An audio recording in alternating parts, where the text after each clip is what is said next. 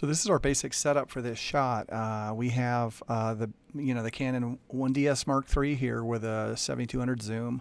Uh, we have six of the Speedlite 600 EXRTs on a stand, uh, all in conjunction with each other, and then we have two additional ones in the background that's going to do like a skim light on the edge of the model.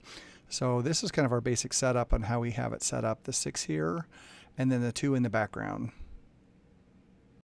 So here we have our flash setup. Uh, we have three different groups set up, four flashes set up in group A and two flashes set up in group B, and an, an additional two flashes set up in group C that are off to the back that will be providing a skim light across the subject space roughly the same distance apart from the subject.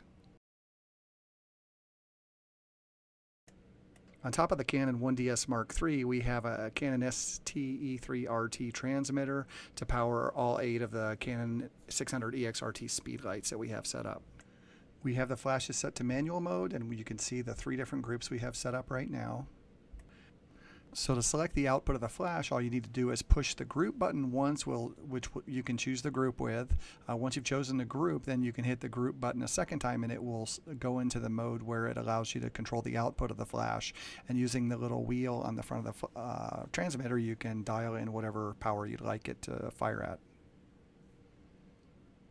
So here's a little cheat sheet that I have on the back of my flash units. I like to shoot everything manually so I know what's happening.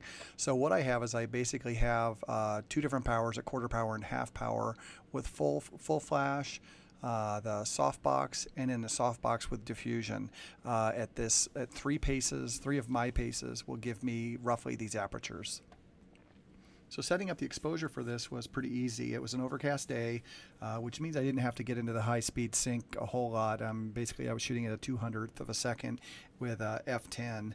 And uh, what I did is I set the exposure to give me the correct exposure for what I wanted for the background, uh, because your camera, your shutter speed has to has to do that uh, along with your uh, aperture helps control that too a little bit. But your shutter speed is going to darken the background or lighten the background depending on how, how you want to set it up. And then for the actual, actual exposure on the subject, then we adjust the light to meet the correct exposure for that use, uh, between adjusting the light output or the uh, aperture to allow for that. Thanks for checking out this video. If you liked it, please subscribe. And if you have any comments, don't hesitate to shoot me a comment and I'll try and answer anything I can. Thanks for watching.